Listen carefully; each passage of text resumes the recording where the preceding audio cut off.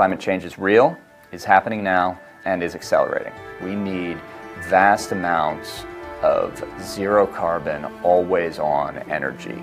Fusion can meet that need, and they have to move quickly to do that.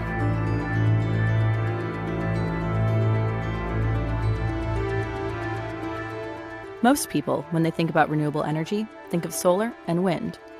But there may be another renewable energy source that we can use to power the planet, and it's called fusion.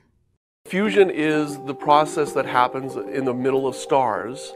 So the lightest, most abundant element uh, in, in the universe, which is hydrogen, in the center of stars, it gets so hot and there's so much pressure that it actually fuses them together and literally makes a new element. It makes helium. And when that happens, it releases copious amounts of energy.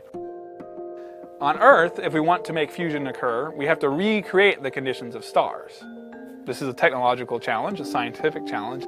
Scientists know how to create fusion, and they've done it before. The Plasma Science and Fusion Center at MIT has been one of the labs at the forefront of that research. A group of scientists spun off of the lab at MIT to create a startup focused on engineering and commercializing fusion so that humans can use the energy it produces. In order to make fusion energy useful, we have to make it so that it produces more power out of the system than it takes to heat it up to the millions of degrees. We call that net energy. To date, we've got the system nearly hot enough, but it hasn't created more energy than it took to get it hot. So that's an interesting experiment, but not a useful power system.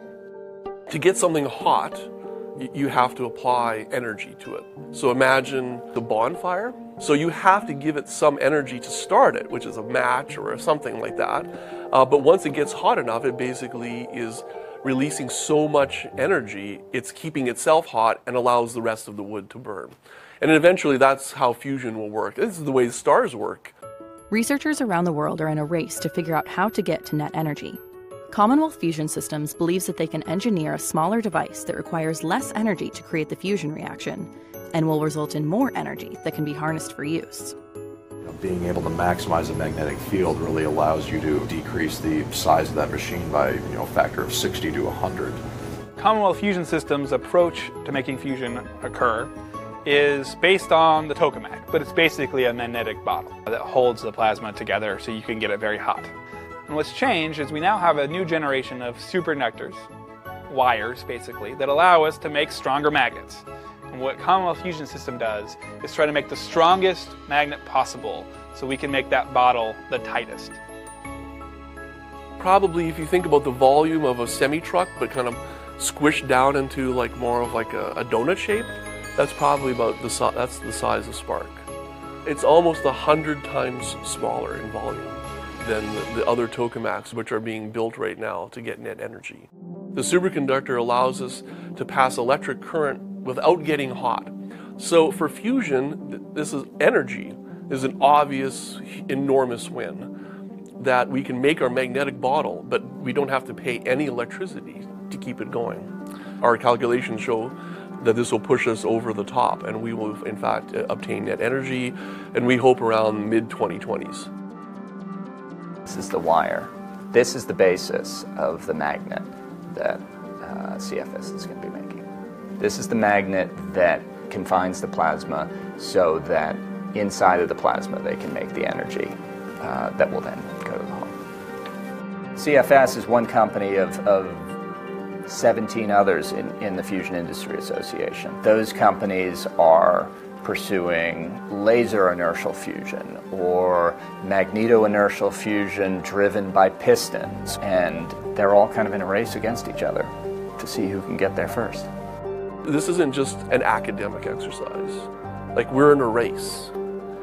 We actually need desperately massive amounts of carbon-free energy. And fusion, if you can make it economically viable, solves it. What we're going towards is the idea that these would replace what we presently have as power plants.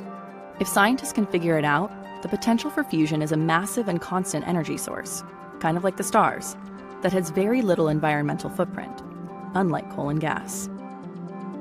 This has gone from being something that is in the long-term future, the Star Trek future, to being something that's in, in our future now. We have a lot of work to do. We have to get the costs down, think about ways to commercialize this, and work with the existing grid. I think it's going to transform the way we use and produce energy in this country and around the world.